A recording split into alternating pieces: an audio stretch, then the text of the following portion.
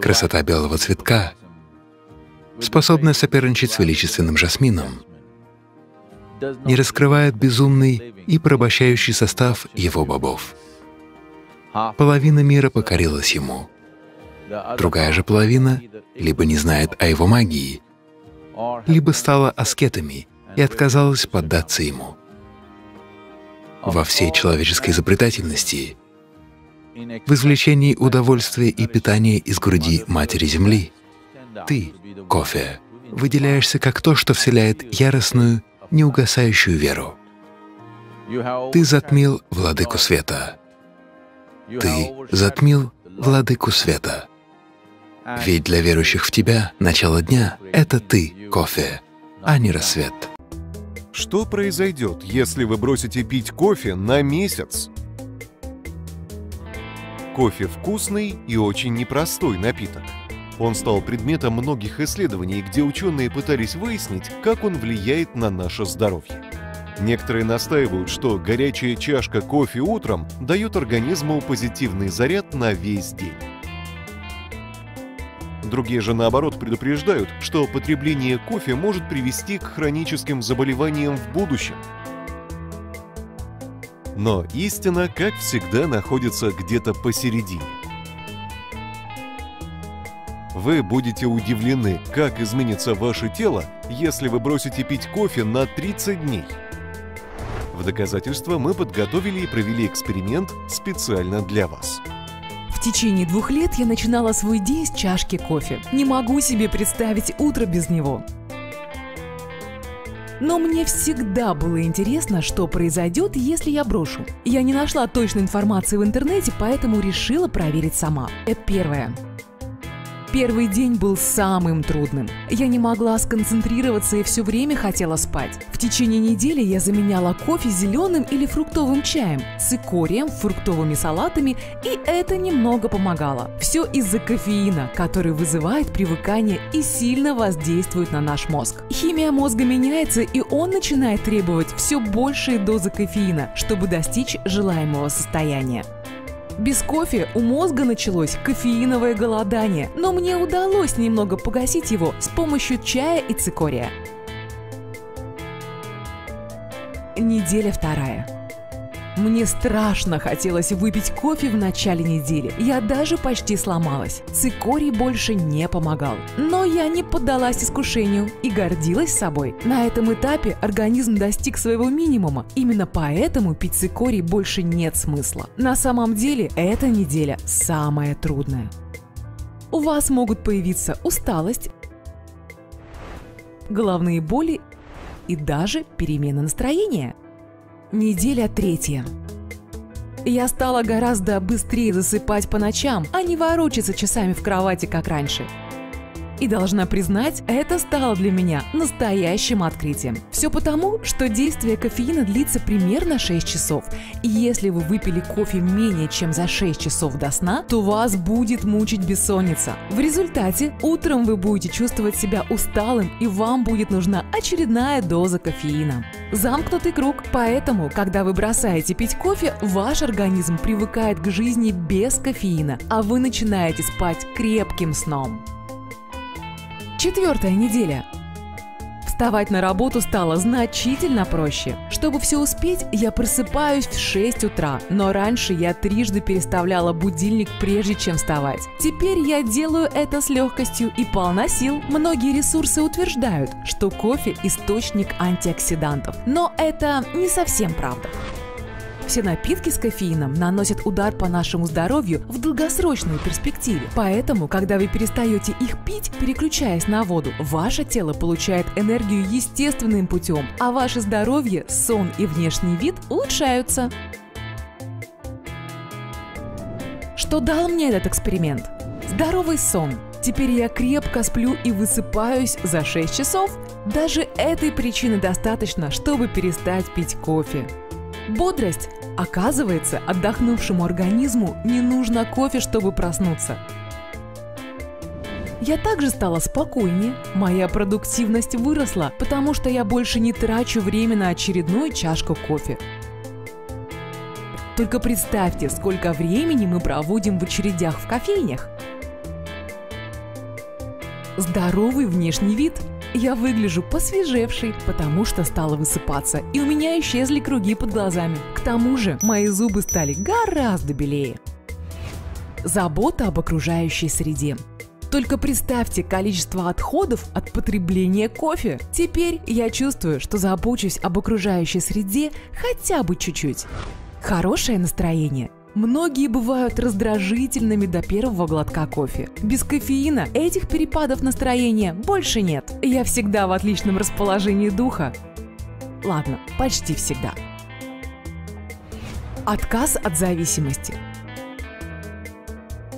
Скажу честно, после эксперимента я позволила себе выпить пару чашек кофе в разных местах. И знаете что? В нем не было ничего особенного. Как мне вообще нравился кофе до этого? Что самое интересное, оказалось, что это не сам кофе я так любила, а ритуал утром дома или на работе, когда я его варила и пила. Вы легко можете заменить этот ритуал чем-то более полезным. Многие люди любят кофе. Ну, как люди сами говорят, пьют для бодрости, проснуться, чтобы не заснуть за рулем, чтобы не заснуть на дежурстве, в ночную смену, на работе и так далее, и тому подобное. На самом деле, если объективно отбросить все самовнушения и самооправдания, то в сухом остатке останется привычка и зависимость, и более ничего – Любой человек, впервые в жизни попробовав без сахара, молока, специй, черный кофе, не получит никаких приятных вкусовых ощущений, напротив, кофе покажется противным, горьким и так далее, но невкусным. Но все меняется со временем, и многое становится привычкой. Вот эти и другие стереотипы и домыслы мы сейчас с вами разберем, а оставим только одну истину. Кстати, а вы слышали о том, что некоторые, наоборот, засыпают, выпив чашку другую кофе на ночь? Да, некоторые этим даже кичатся, мол, вот какой у меня уникальный крепкий организм. Я поясню природу такого явления чуть позже, но обо всем по порядку. Знаете ли вы, что, несмотря на колоссальное сопротивление, кстати, да, и деньги, совсем недавно калифорнийский суд США все же признал кофе канцерогеном. Теперь кофейные компании обязаны ставить на упаковке с кофе специальные маркировки, что кофе может приводить к возникновению рака. Да, дорогие друзья, не удивляйтесь.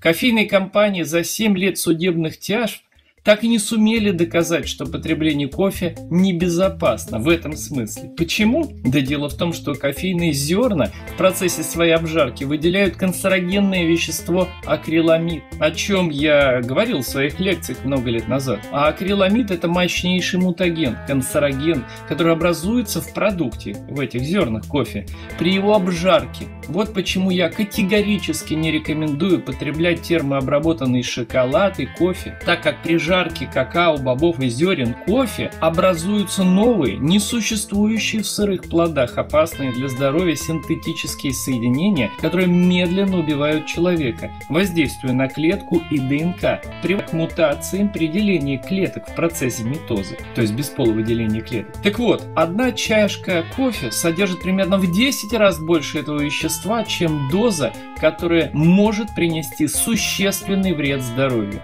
Да, то, что будут вопросы о шоколаде, я это знаю, поэтому предвидя наперед скажу, что шоколад я советую есть только безвредный и даже полезный. И да, такой существует. Это только сырой, живой сыроедный шоколад, где нет обработки термической, зерен какао-бобов. Что касается акриламида, вы теперь уже знаете, что это такое в общих чертах что в жареном кофе его больше, чем где бы то ни было в других продуктах. Но, кстати, тем не менее, в 2016 году, совсем недавно, онкологическое агентство Всемирной организации здравоохранения исключило кофе из списка возможных канцерогенов.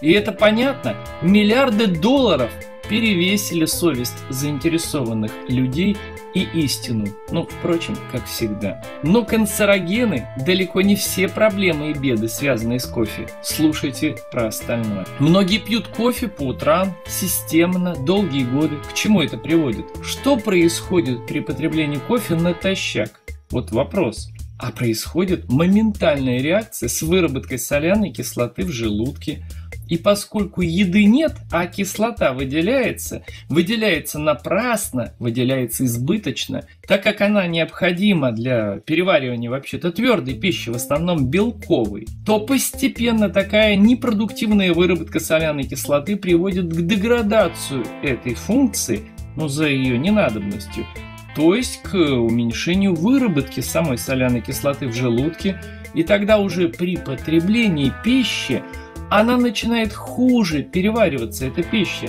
Особенно сложные высокомолекулярные белки, белки животного происхождения и бобовые. Тогда белковые молекулы, частично не переваренные в больших количествах, чем это происходило бы без таких вот кофейных тренировок, начинают попадать в следующий отдел ЖКТ, то есть 12-перстную кишку, где даже под воздействием фермента трипсина поджелудочной железы не могут до конца перевариться и всасываются через стенки тонкого кишечника в кровь цельными, вызывая реакцию антигена-антитела.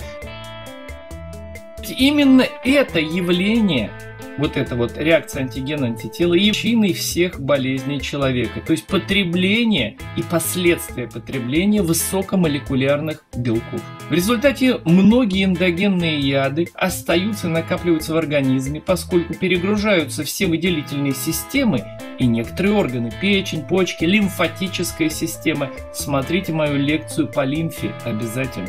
Конечный результат накопления и неполного выведения токсинов из организма есть нарушение деления клеток, грибковые поражения и, как следствие, доброкачественные опухоли и онкология. Еще одна проблема, она заключается в том, и я об этом тоже говорил ранее, что кофе – сильнейший закислитель организма, а ведь все среды нашего организма, за исключением желудочного сока, щелочные, кровь, лимфа, спинномозговая жидкость, слюна и прочее. Также в кофе есть разнообразные вещества, которые влияют на слизистую желудка, то есть не только бактерии хеликобактер, и кишечника, приводя к язвам и гастритам, как непосредственным своим воздействием, так и излишним закислением сред. В результате защитные барьеры желудка, кишечника ослабевают, и человек начинает болеть, любые хронические заболевания обостряются, иммунитет падает, могут развиваться инфекции и аутоиммунные заболевания.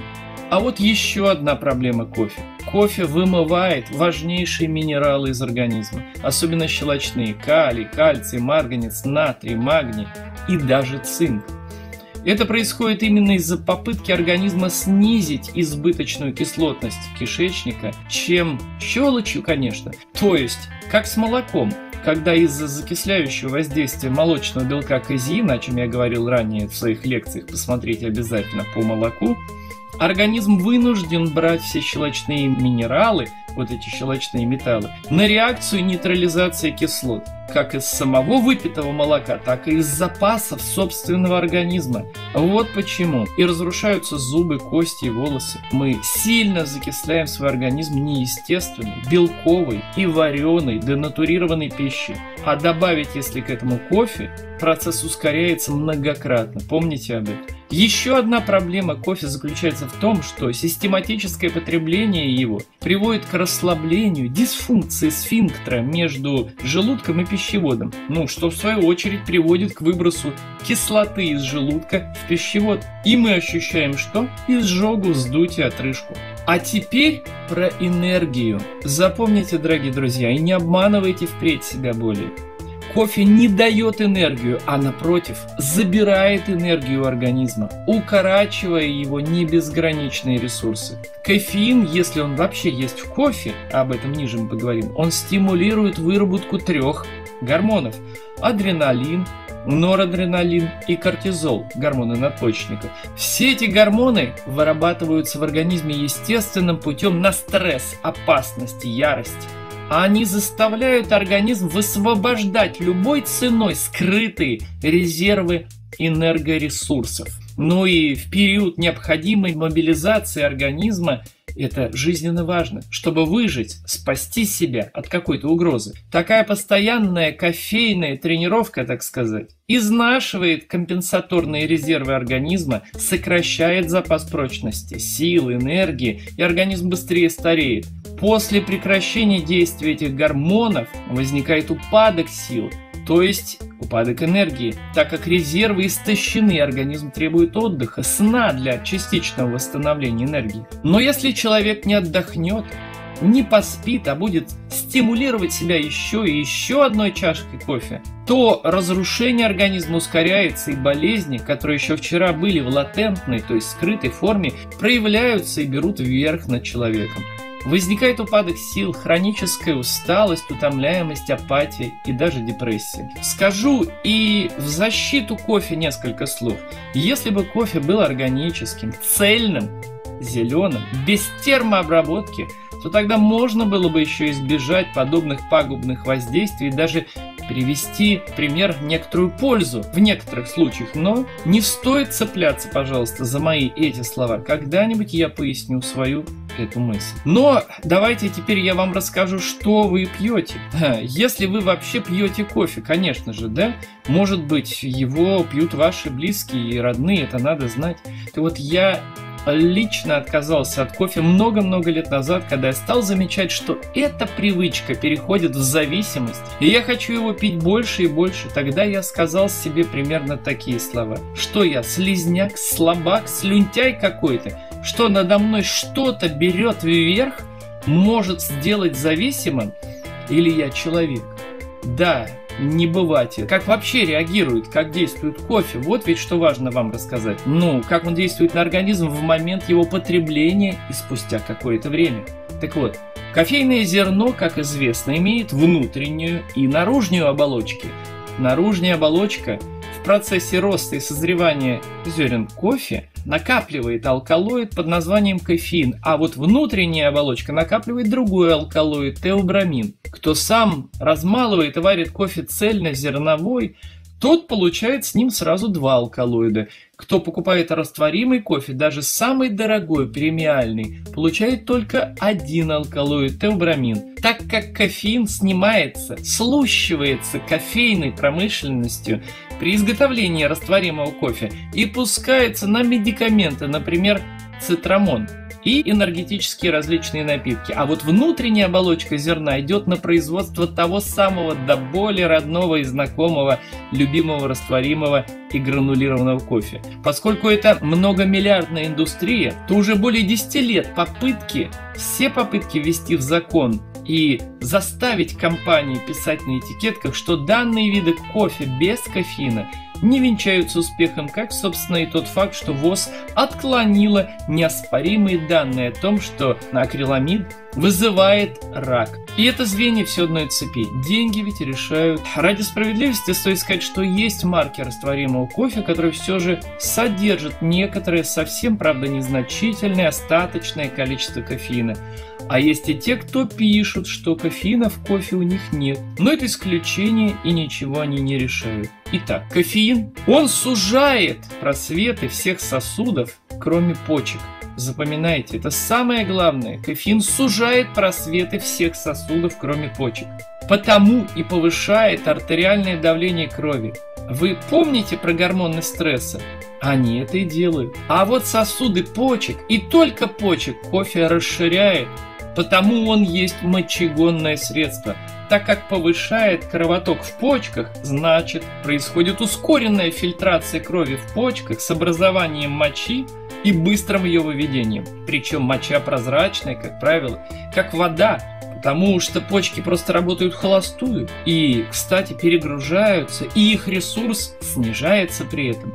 Этот эффект кофеина проходит уже через 20-25 минут, и тогда наступает явная работа другого алкалоида, теобрамина, так как его эффект медленный и более долгий. Действует он около часа и заключается в том, что теобрамин расширяет напротив, то есть расширяет все сосуды организма, но кроме сосудов почек, то есть с точностью наоборот. То есть артериальное давление из-за расширения просветов сосудов, что снижается при действии теобрамина. Потому у гипертоников, у кого повышенное артериальное давление, от растворимого кофе и нет гипертонических кризов и повальных смертей, как были бы непременно от цельнозернового кофе с его кофеином.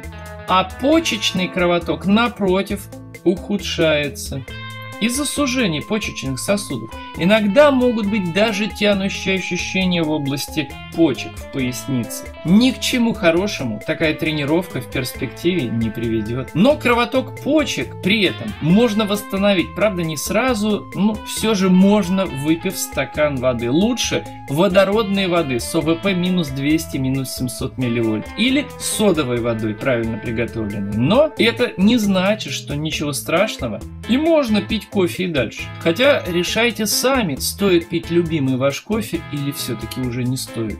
Важно пояснить вот что. Надо подчеркнуть, что часто после растворимого кофе хочется спать, а не бегать. Это правда, и тут нет ничего удивительного. Это происходит именно потому, что в нем нет кофеина, а есть теобрамин. Так что те, кто гордится своей особенностью, мол, от кофе я сплю, вот такой я крутой, особый такой, расслабьтесь, товарищи. Теперь вы знаете истину, от чего вы засыпаете после подобного, так сказать, кофе. Поэтому если пить растворимый, не цельнозерновой кофе, то вы будете разбиты, вялый, сонливый. Если же цельнозерновой кофе будете пить, то искусственная бодрость к вам придет всего на 20-25 минут, а после ждите фазу сонливости из-за неминуемого воздействия теобрамина. Какой бы сорт кофе вы не потребляли, Именно потому и формируется в начале привычка, когда через полчаса человек пьет еще одну чашку, чтобы вернуть бодрость, а через 30 минут еще одну и еще, со временем эта привычка перерастает в самую настоящую, обыкновенную и стойкую наркотическую зависимость. Вы человек или наркоман, скажите себе сами. По крайней мере, более не обманывайтесь, что кофе не наркотик, а вы независимы от него. Будьте разумны и честны хотя бы перед собой. Кстати, обратите внимание на то, что дальнобойщики, и не только они, бьются ночью на 20-х, 40-х километрах трасс от городов, из которых ночью они выехали, выпив на дорожку пару чашечек крепкого горячего, горячего любимого растворимого кофе. Ведь действие теобрамина человек не может усилиями воли побороть. Рано или поздно случится то, что случается. Такие же кюветы и аварии можно постоянно наблюдать в тех же, ну, примерно 30-40 километрах от кофеин на дорогах, где водители отхлебнут чашечку кофе. Тем более ночью, когда организм особенно сопротивляется является бодрствованию, если у него, конечно, не сбита естественная программа ритмов жизни, так как ночью человек должен крепко спать, и это естественно. Тут вспоминаются слова поросенка Фунтика из одноименного детского мультфильма советского. «Лучший кофе на дороге, отхлебнешь, протянешь ноги». Там смысл другой, однако верный и по причине, о которой я вам сейчас только что рассказал. Биохимия и жизнь это подтверждают. Берегите себя и своих близких если они вам дороги, конечно. Также берегите, что еще важнее, если вы человек порядочный и совестливый, жизни и имущества ни в чем не повинных людей, не пейте не только алкоголь вообще, но и кофе, тоже. Ну уж кофе, по крайней мере, за рулем не пейте. По крайней мере, растворимый.